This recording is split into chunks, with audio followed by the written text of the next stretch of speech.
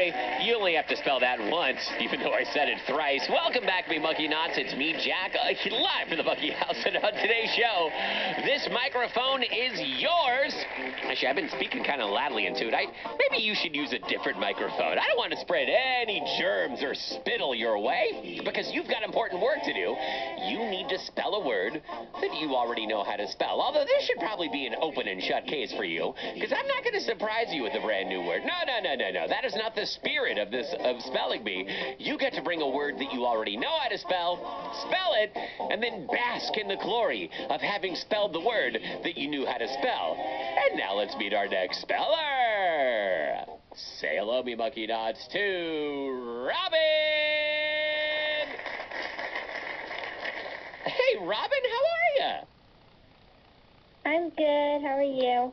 I'm much better now that you're here. Thanks for asking, and welcome to the Monkey House. Uh, Robin, are you in school already, or are you still on summer vacation? I'm still on summer vacation. I go back on September 8th.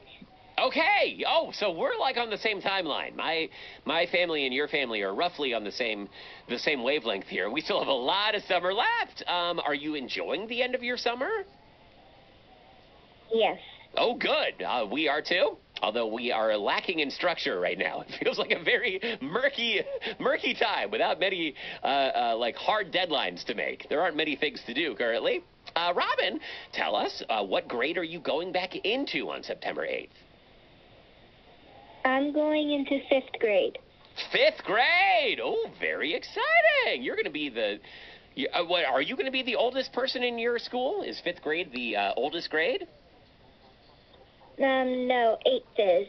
Oh, interesting. Okay, so you've got a ways to go until you're the uh, big student on campus. Uh, but fifth grade is uh, that's nothing to sneeze at. Are you excited? Yes.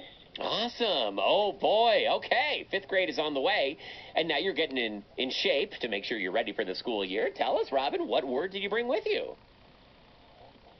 Caribbean. Caribbean. Oh yeah, this is a great word.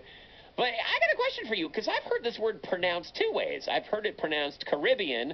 I've also heard it pronounced Caribbean. Are they both correct, or is Caribbean correct? Do you know?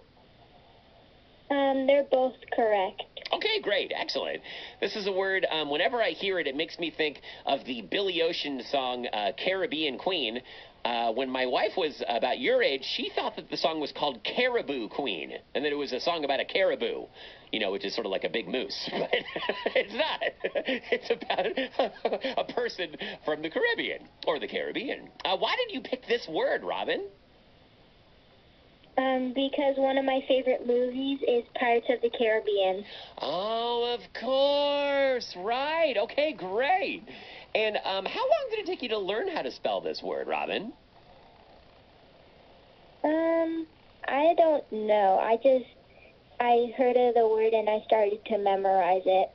Okay, so it just it just worked its way into your brain like a like a little worm. Some words do that. You know, you're not really conscious of it. You just figure out, hey, wait a minute, I know how to spell this word. Well, this should be a snap for you then, Robin. Um, you've already used the word in the sentence, Caribbean, and now it's time to spell it. So we're gonna do this just like in a real spelling bee. You got to say the word, then spell it one letter at a time, and then say the word again. And if the audience agrees, you are going to an island we like to call the Cool Ranch Doritos Winner Circle. Take it away, Robin. Caribbean. C A R I B B E A N. Audience, show us Caribbean. Robin, you did it! You just won the spelling bee and an all expenses paid trip to the Cool Ranch Doritos Island. Isn't this exciting? Yes. I'm excited too. Now remember, you got to wear sunscreen on Cool Ranch Dorito Island because otherwise you're going to turn into a flaming hot Dorito, and uh, no one can handle that level of heat. It's just too much. Robin, have a great trip back to fifth grade and have a great school year, okay? Okay, thank you. Thank you, audience. Give it up for Robin, our newest fifth grader here in the Monkey House.